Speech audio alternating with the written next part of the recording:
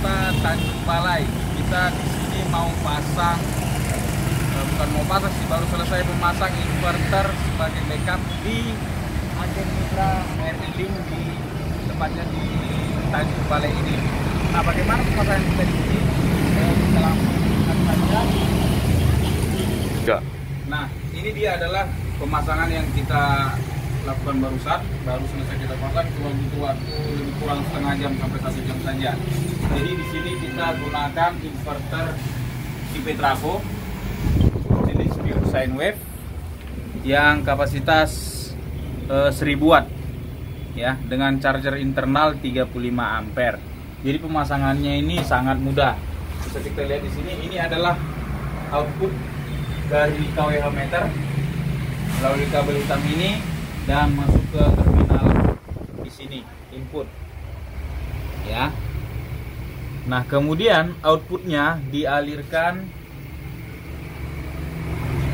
masuk ke jaringan instalasi. Seperti itu aja. Jadi dari KWH meter itu langsung ke inverter. Nah nanti inverter inilah yang eh, men-switching apakah beban itu dialiri oleh PLN kalau PLN tersedia atau aktif atau dialiri inverter kalau PLN-nya padam seperti. Nah, di sini kita menggunakan aki 200 ampere ya, baterai AGM kapasitas 200 ampere. Seperti itu. Nah, di sini kita langsung saja demokan. Kita lihat di sini posisi saat ini adalah eh, PLN aktif. Bisa dilihat di sini ini simbol PLN masuk. Kemudian ini simbol chargernya untuk mengisi aki. Ini CHG nyala.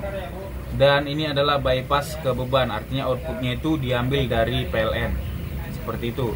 Nah, ini indikator untuk AC dan PLN. Kalau PLN eh maksudnya untuk PLN dan inverter. Kalau PLN dia nyala, kalau inverter dia akan kedip-kedip seperti itu.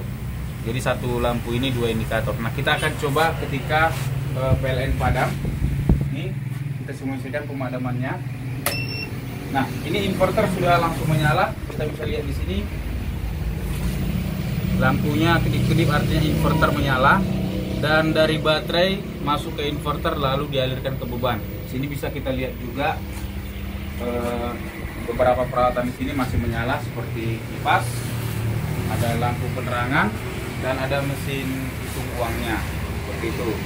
Jadi semuanya masih menyala. Dan ketika PLN-nya